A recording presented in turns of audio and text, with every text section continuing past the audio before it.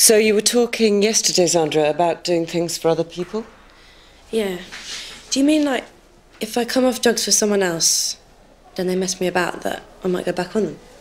Well, that's the danger. Like with any form of addiction, you have to want to stop. Shell. Sorry I'm late, miss. Not interrupting anything, am I? Oh well, not to worry. I'm going to be a good little girl from now on. And that's a promise. So, I wonder if you could tell us why you've chosen to dress like this today. Ah, I've not upset anyone, have I? Just thought it'd be a laugh. You could have worn a shorter skirt. I like short skirts. They're sexy. I'd like to go on the tube like this. Well,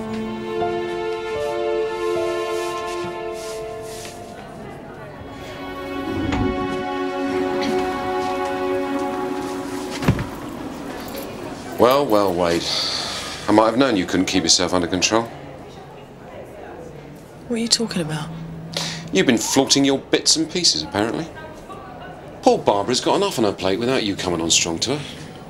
Show a bit of modesty, if you know what that means. Just get off my case, Fenner, right?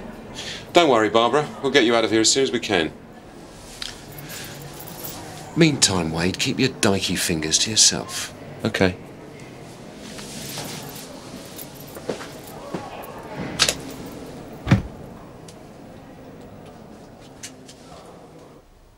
You talk a lot about men, Shell. I like men. What is it you like about them? Are they nice to you? No, What is it then? they're bastards. So you don't really like them?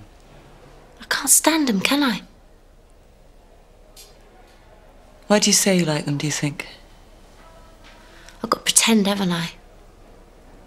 They expect it. They want sex off me.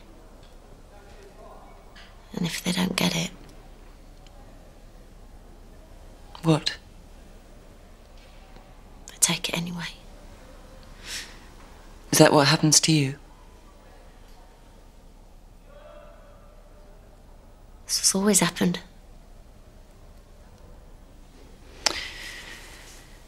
When was the first time? I don't know. Been going on all my life, see? Since you were how old?